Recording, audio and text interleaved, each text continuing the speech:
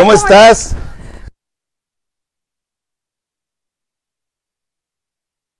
Tu casa, mi casa, mis hijos. Gracias. No es la casa del pueblo, pero pero aquí casi casi como aquí hacemos muchos este Sí, muchas entrevistas. veo está- y además Entonces- está muy padre, se ve muy a gusto, el Sí. terreno súper amplio. Lo, he- lo he venido construyendo desde el 2014. Órale. Y, y bueno, fue un proyecto también tanto personal como que después se convirtió de empresa. Porque aquí, bien, aquí he hecho ¿eh? todas las entrevistas. Mira, te voy a, a llevar donde hice primero la entrevista a Mara Lezama, que fue con Ah, la que mira. inauguré la finca prácticamente. Ah, Ah, mira con bien. ella aquí hicimos la entrevista. Súper bien. Hasta para hacer ejercicio tienes ya Sí, tenemos un gimnasio allá, esta es la piscina. la alberca. Entonces, bueno, aquí nos sentamos, y siéntate Gracias. un ratito y después nos cambiamos de lugar y te voy a llevar a donde hice la entrevista a Ay, Félix. Ay, Está bien cómoda, ¿sí? ¿Verdad que sí? Sí. Aquí yo creo que te echas tu dormidita. Sí, sí, Te nada más que está un poquito baja, regularmente la tenemos un Pero poquito más está alta. bien, Sí. está a gusto. ¿Cómo te ha ido? Muy recién, bien. recién mamá nuevamente. Sí. ya, ¿Cuántos hijos este, tienes? Dos. Dos, ¿verdad? Mari- esta Briana Maribel, que tiene ocho años, y Mateo, dos meses. Dos mesecitos. Campañero totalmente. Sí, pues sí, estabas en campaña prácticamente. sí, cuando- él nació el 5 de abril, la campaña inició. Ah, pues inició el, el, ¿qué? el 9, ¿no? El, campa- no, el 3. El 3, el 3 de abril empezó la campaña, o sea, Entonces- iniciando luego, luego. Pero no te ausentaste mucho tiempo, ¿no? No, nada más como 15 días me tomé. No, no, no respeté mucho. los 40. Sí, Fue, fue todo un reto, ¿no? Sí, todo, esta todo un reto, todo un reto porque para mí era muy importante, digo, como coordinadora de la campaña, era muy importante acompañar a Mara pues en todo el estado. Pero además, ¿cómo le dices a tus seguidores que durante mucho tiempo veían a, a Maribel como la opositora de Mara? ¿Cómo le, cómo le dijiste a tus opositores? ¿Saben qué? Pues siempre no, o sea, siempre sí hay que sumarnos al proyecto que Morena está este, impulsando y que pues eh, antes era mi adversaria, pero ahora es mi aliada. Sí, precisamente por eso es importante recorrer el estado con ella, mandar un mensaje muy claro de unidad. Pero cambiarle el chip a la gente no es fácil. No es fácil, no es O sea, fácil, totalmente. es ¿eh? muy complicado. Porque pues uno como político eh, platica, pero la gente, como bien dices, Jonathan, cambiarle el chip a la gente no es fácil. Es complicado. Entonces es- hay que explicarle, eh, pues finalmente, digo, yo tengo ya más de 20 años aquí en Quintana Sí, Roo. claro. Y pues lo que quiero es lo mejor para mi estado. ¿no? 17 Y- años que fuiste, ganaste tu primera elección en los es. tribunales además, ¿no? Así es. Vamos a cambiarnos de lugar porque Sí. aquí hay mucho sol, déjame, permítame, te ayudo. Y te voy a llevar a donde le hicimos la entrevista a Félix González, aquí, mira, abajito del árbol. Vamos a descansar un poquito del... Mira, ahí dejaron tirada una escoba. Pero bueno, es, es, Parte es- aquí. es la casa, sí. Así es. Aquí, por favor, siéntate. Así es. Vamos a quedar un poquito a contraluz, ¿verdad? Ustedes Pero bueno, parece dónde me, siento, me siento mejor aquí. Para que no haya contraluz, porque luego el Sí. contraluz. Sí, mejor. Para que también este podamos lucir los baños. Ahí están los baños Sí, están públicos. Pues aquí le hice la entrevista a Félix. Es tu amigo, Félix, ¿no? Pues, mira, la verdad que no. ¿O fue tu amigo? No, mira, creo que eh, coincidimos en la legislatura. En la primera vez que fui. eh, Pues cuando él cuando él ganó la gobernatura, tú Así ganaste es, la diputación, diputación local. En los tribunales, como, En los como tribunales. bien comentabas. Sí, porque fue muy y, complicado. Y pues bueno, en esa legislatura me tocó este, trabajar con él. Eh, sin embargo, siempre como que se manejó el estigma que éramos muy amigos, y lo cual no es cierto. Pero bueno, es- este tema vamos a dejarlo para relatos de Don Tomás. Ok. Porque es del pasado y ahorita este, esta visita es más que nada para hablar del presente y del futuro. Que pues bueno, obviamente has demostrado que tienes un futuro muy, pues muy largo todavía en, tu- en la historia política de Quintana Roo. Y nos quedamos hace ratito en el tema de cómo decirle a las bases, a la gente que, que muchas veces no razona y- o no entiende el tema de las, de las negociaciones políticas, Claro. de las alianzas que se tienen que hacer forzosamente. Eh, ¿Qué tan complicado fue para la mayoría de la gente que te apoya?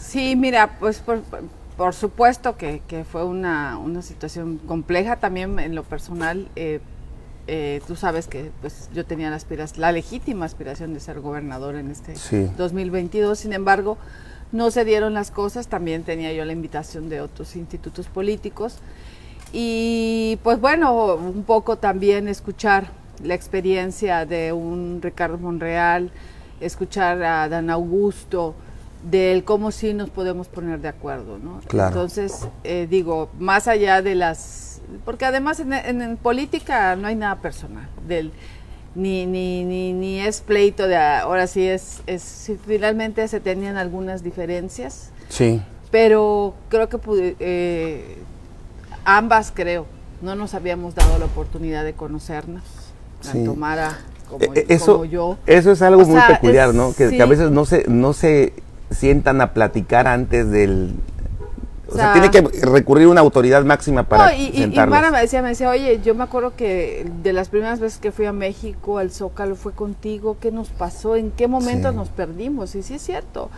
Yo pues me metí en, la- en, el, en el tema del, del Senado de la República, me metí al 100%, ella pues desde, el- desde la presidencia municipal, y empezamos a caminar, a, a alejarnos, ¿no? Claro. Y obviamente, este, pues obviamente ella nuevamente busca la presidencia municipal, su reelección, y es cuando yo, desde un año antes, empecé a trabajar. porque Nunca hubo una rispidez personal, ¿verdad? No, no, no. no. Que- o sea, que yo tenga una anécdota o, o que yo sepa No, no, que me hayan filtrado y me hayan dicho, oye, se pelearon en alguna ocasión en un evento o algo así. Creo que no, ¿verdad? O sea, se veían y se saludaban normal, aunque se sabían este, adversarias. adversarias políticas en Sí, su claro. momento. Pero la verdad es que eh, también, para mí, yo soy una mujer muy agradecida con el presidente Andrés Manuel. Y decía yo, pues, aunque tengamos diferencias en lo local, pero a nivel nacional es otra historia. sí, claro. Porque pues yo le tengo un gran cariño, respeto y, y- y- y aprecio al presidente Andrés Manuel. Y, sí, pues eh, como te decía, se me acercaron distintos institutos políticos, pero al final tenía que yo valorar muchas cosas porque la decisión no, no es solo por, por- para uno, lo que piensa para uno, sino es lo que implica a tu equipo, a tus seguidores, a toda la gente. Sí, muchas Y, eh, veces eh, los políticos se pierden en un interés personal y, y no en el conglomerado, ¿no? Eh, Sí. eso, eso también es, es, este, es algo valioso Y- que, que hay que reconocer. y es que al final, cuando uno, cuando ya tienes un poquito ya de trayectoria, pues ya piensas las cosas con mayor madurez, con mayor, no con el, no con el estómago. Con el hígado. Exacto, sino con la cabeza fría, Claro, que claro. tomas una decisión que implica, no es una decisión de tu futuro nada más, sino es una decisión de tu equipo, de tus seguidores, de que al mismo todo. tiempo es tu futuro. Así Porque, es. o sea, ¿quién es Maribel Villegas sino el- la, la líder de un grupo de, de personas que te ha costado trabajo este, Sí, mantener? Piensan que, que, que ha sido fácil y no. No, me he no, caído, claro. me he levantado, me he caído, me he levantado, me he vuelto a caer, me he vuelto a levantar, pero he aprendido mucho. Yo siempre he dicho, eh, lo he comentado un sinfín de veces, eh, hay, hay mujeres como tú que la circunstancia política y los, los líderes políticos, vamos a llamarlo así, de la élite política, eh, les otorgan recursos diversos para mantener a, su, a sus activistas y muchas de ellas se los gastan en otras cosas. Así es. Y yo, eh, la información que tengo es que tú sí le inviertes en la gente y ese es precisamente la clave de tu éxito. Sí, fíjate que, digo, estos, como bien decías, la primera vez que fui diputada en el 2005. Cinco. Desde ahí empecé el tema de la gestión, gestión, gestión, gestión. Y eso me ha fortalecido mucho, siempre ayudar a la gente, haya o no haya campaña, que el Claro. medicamento, que la silla de ruedas, que el bastón. Porque el gran reclamo que nos hacen es, oigan, solo vienen en campaña. Y luego ni regresan ni se aparecen. Así es. Entonces, yo he sido pues una gestora permanente. Incluso cuando terminé el congreso la primera vez hice una asociación ci- civil que se llamó Unidad Familiar Sí, cómo no. Quintanarroense. Y a través de la asociación seguí trabajando, seguí, seguí, seguí, seguí. Y eso la gente se acuerda muchísimo. Yo ¿Cuánta, tengo- gen- cuánta gente tienes? No, yo no podía O sea, decir- un aproximado. Así que que tú creas que son fieles a, a- a tu bandera.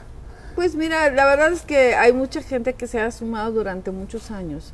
O sea, yo tengo liderazgos que me Por han eso, seguido hace puedes decir, a ver, tengo 10 mil personas que me siguen, pero de esas 10 mil a lo mejor mil son leales. Así fieles. No, me, no me gustaría decir números. No, porque sería Pero sí muy muchos. soberbio de mi parte. Sí, sí, son algunos.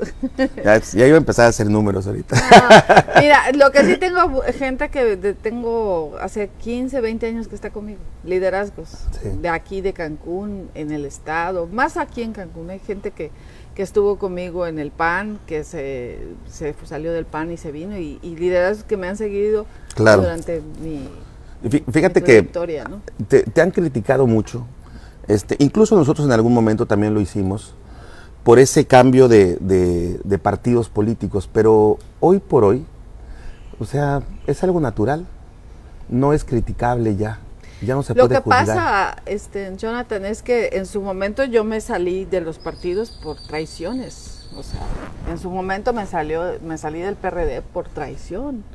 ¿Por qué? Porque hicieron negociaciones este, muy fuertes sin tomarme en cuenta. ¿Quién? Eh, en su momento los chuchos en Los el chuchos. PRD, con Gregorio, yo tuve diferencias Sí, cómo no. importantes. Con Julián, con el propio Julián. Ni siquiera me dejaban par- participar en los procesos internos, eh, por eso me tuve que salir. Claro. Pero mucha gente no lo sabe. Y del PAN, pues Eduardo Martínez, igual. O sea, vendiendo candidaturas, haciendo las... Ya sabes que casi no se da, ¿no? Haciendo las negociaciones. Tienen que auditar a ese Eduardo Martínez y meterlo a la cárcel, y ¿eh? es un este, bandido. Y pues bueno, y, y pues bueno, eh, precisamente por eso he tomado las decisiones, ¿no? Claro. Porque no, o sea, finalmente el, el instituto político pues tiene sus bases, sus principios, pero finalmente son los dirigentes, tú lo sabes, cómo, Claro. cómo manejan el partido. Y, ahí- y ahí- y ahí te preguntarás, ¿en dónde está hoy el PRD? ¿En No, dónde pues ya está no hoy en el PAN? ¿Dónde no está el. PAN? ¿Dónde está ahora el PRI? Sí. Ese es el resultado. de Que haber también estuviste en dejado- el PRI. De haber dejado abandonado a su gente. Oye, ¿y tu amistad, bueno, tu relación con Mar es de amistad ya? Sí. la ya verdad son sí. amigas realmente. Sí. Porque en política es muy complicado eso. La verdad es que es, es muy complicado, pero te, te quiero decir que yo siento que no me había dado la oportunidad de conocerla bien, ni, ni ella conocerme a mí. Claro. Ella conocía a la Maribel combativa, agresiva, este, casi casi intolerante, la, la, la que, que, pues Intransigente a veces. Y no, no me, la verdad no me había dado la oportunidad. Sí, sí te cierras a veces, ¿no? O sea, no, no, no te abres a, a la oportunidad de dialogar contigo. Claro, claro. Es que finalmente, después de 20 años de carrera política, eh, pues uno valora muchas cosas, uno aprende, uno madura, uno crece políticamente. ¿Esta elección te sirvió para eso? Sí. Para, Crecí una mucho, madurez. mira, yo creo que crecí mucho en el Senado, crecí mucho. Para mí fue un maestro Ricardo Monreal, es un maestro Ric- Ricardo Monreal. El propio Dan Augusto. Me dieron lecciones de política muy cañonas sí. y que he aprendido mucho, ¿no? Y, y pues también la vida, también la vida te enseña. Eh, el fallecimiento de mi madre el año pasado fue un golpe muy duro. Mm, Lamentable. Luego la llegada de Mateo.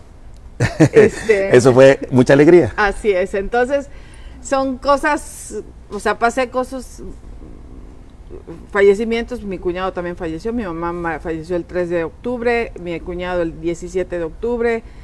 Este, fue- el año pasado fue, un- fueron me- mes- fue un año muy difícil para mí en lo personal. Claro. Obviamente en lo político, pues estaba la efervescencia, todo lo que da. Pero el 2022 Que también dicen que cuando suceden esas cosas es cuando también uno se sensibiliza y, y entonces se aprende más. Claro. Te quiero invitar a donde, a donde hacemos los Claro. comentaristas Órale. Claro que sí. y, y donde también me ha tocado entrevistar acá, mira, este, este lado. ¿Y a Este quién, es, a, a quién, a quién es? esta es la palapita, es el... A gusto. Sí, sí, sí, aquí vas a estar más cómoda. Ah, pero también estaba cómoda. ¿Dónde quieres que me siente? A- Aquí, por favor. Ok.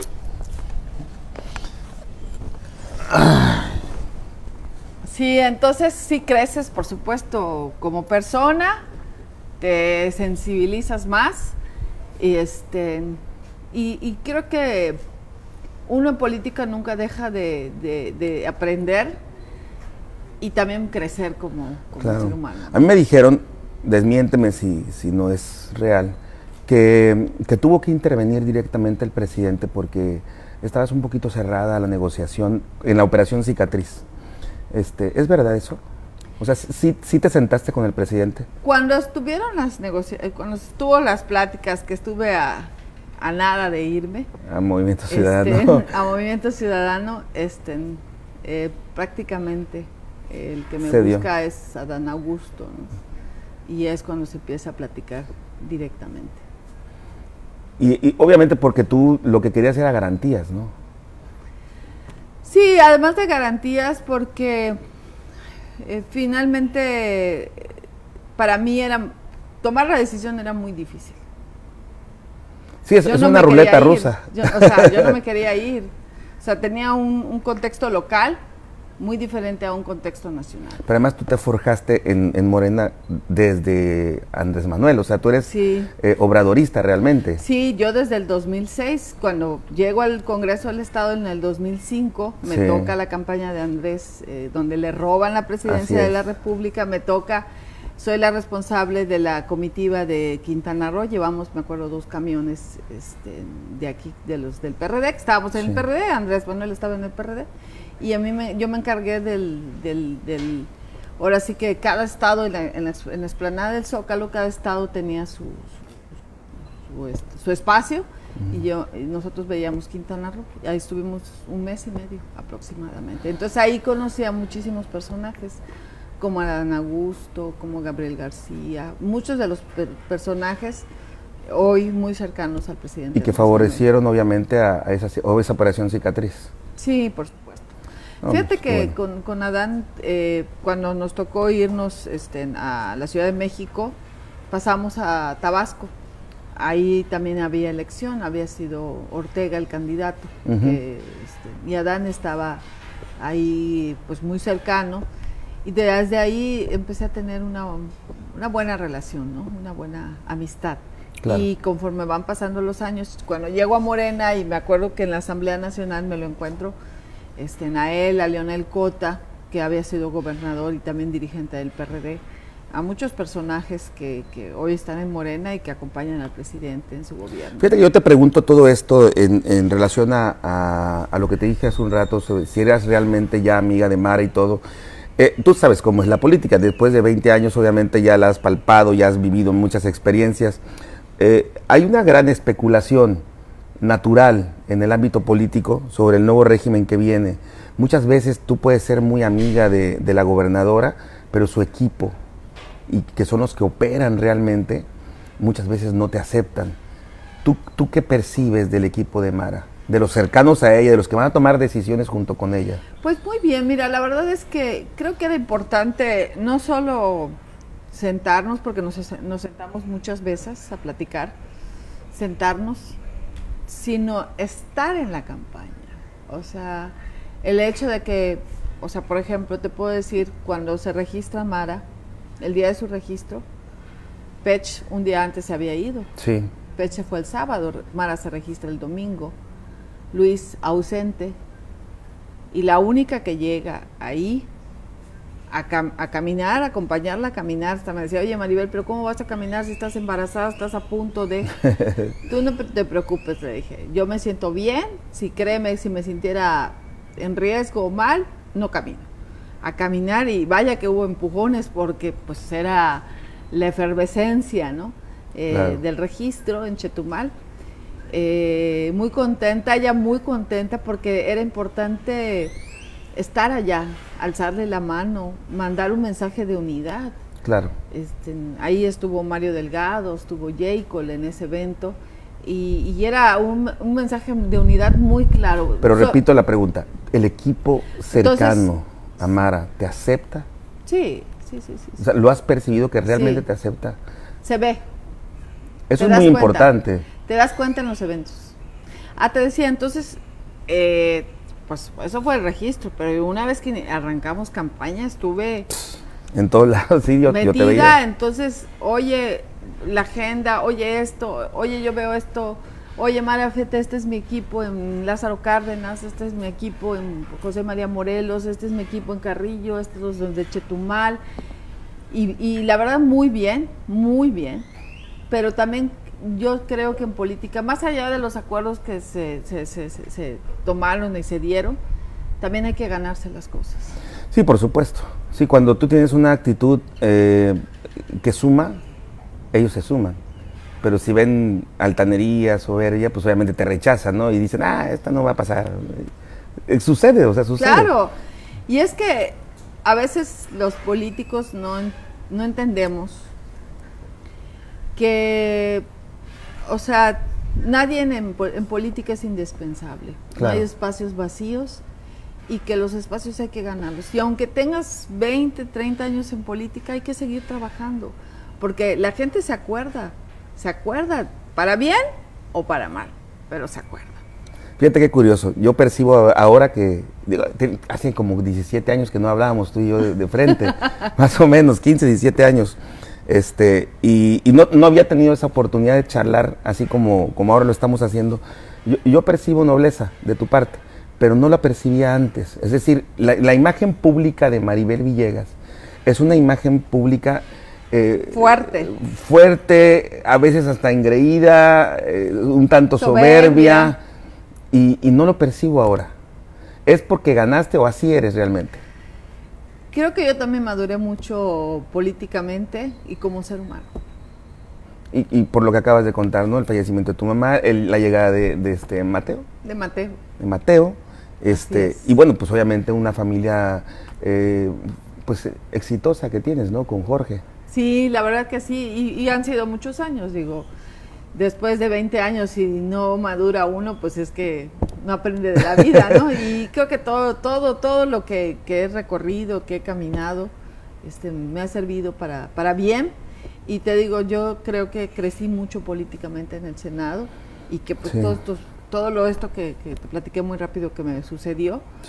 Yo, la verdad, estoy muy tranquila, estoy, estoy contenta. Eh, después de que pues inició la campaña y que me metí de lleno y me decía Mara, oye Maribel, pero tu, tu herida, tranquila Mara, le decía yo, estoy bien fajada, no te preocupes, pero tu herida es que me dice mi hermana. De es verdad, que eres fuerte. De, verdad le, le decías, créeme que si no me sintiera bien, no estaría yo aquí. Así es. Y este, y sí, lo que bien dices es que pues he tratado de cuidarme siempre, hacer ejercicio y eso pues me ha permitido pues seguir en estos andares. Oye, ¿vas a ser presidenta de la Jugocopo en, en el Congreso?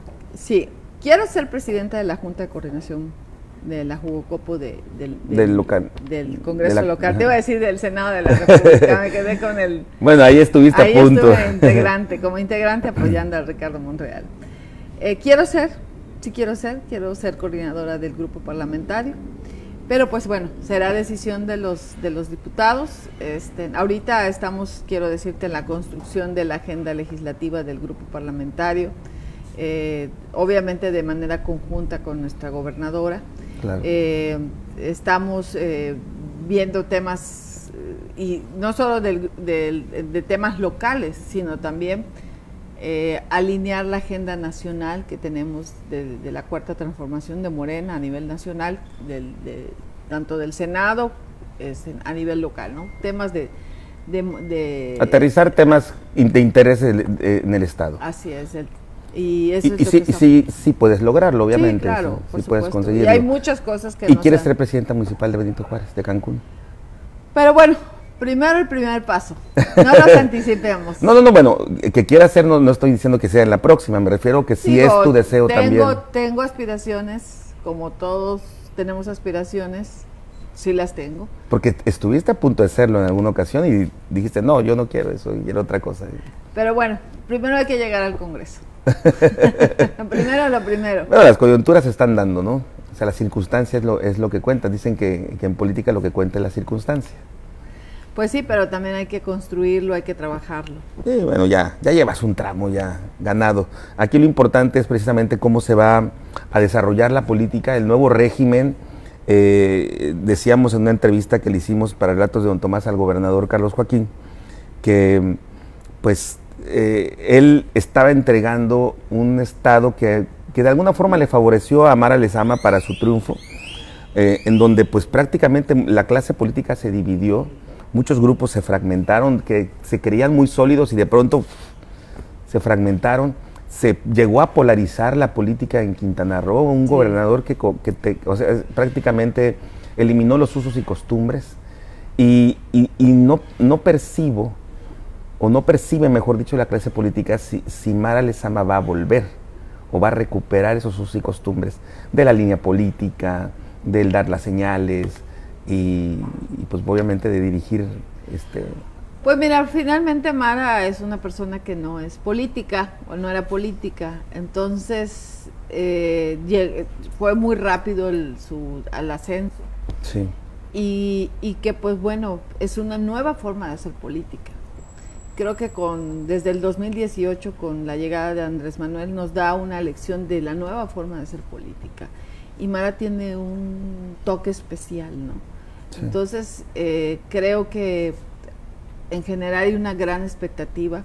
Ahorita que decías el tema con el gobernador, yo creo que eh, el Estado está en condiciones complicadas, está muy comprometido económicamente, el tema de la inseguridad está tremendo. O sea,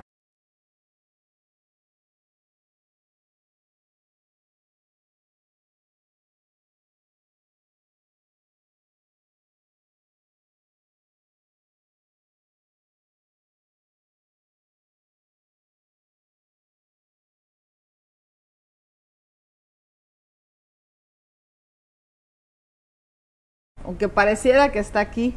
No, sí está aquí. pero no está tanto como creemos, ¿no? Pero sí está dirigiendo. Sí, bueno, tiene presencia y, pues bueno, es el presidente de un partido político que, en el cual... líder moral. El dueño del Es el dueño, claro. Es el dueño. es el dueño. Pero es, es una persona muy hábil. Sí. Este, te digo, he platicado pocas ocasiones con él y pues mis respetos porque ha, sido talentoso, digamos, ¿no? Pues sí, efectivamente. Oye, pues yo te agradezco mucho y que hayas tenido esta conversión conmigo. Eh, muy esperada desde hace mucho tiempo te he querido entrevistar. Creo que fue la mejor circunstancia porque pudimos hablar de, cosas importantes, sí. muy tranquilamente. No, y además, eh, pues en campaña pues andamos. Luego vino la gira de agradecimiento. Entonces, por eso te dije, sabes que dame oportunidad que yo esté tranquila y veme hoy tranquila y, contenta.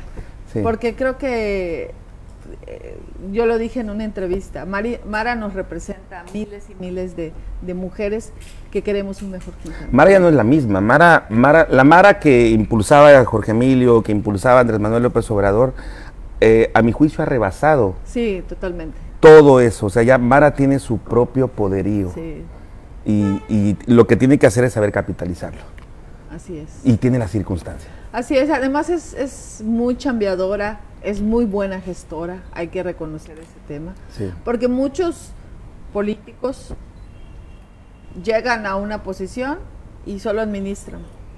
No, no se salen de su área de sí, claro, claro, claro. No se mueven a nivel nacional, o sea, y creo que hoy hay condiciones inmejorables en el tema de relaciones porque tienes un gobierno federal alineado, que el presidente tiene un gran cariño a Quintana Roo, el gobierno del estado y pues los municipios. Ahora lo que nos hace falta pues es el recurso para sacar tantas deudas que se tienen en el estado, no solo económicamente, sino en salud, en seguridad, infraestructura, en el campo, en fin. Sin duda alguna. Muchas gracias por venir a la casa. Al contrario, gracias por invitarme. Déjame darte un abrazo. Gracias. Yo ya me puse tacones, ya me dijo el Nos vemos a la próxima.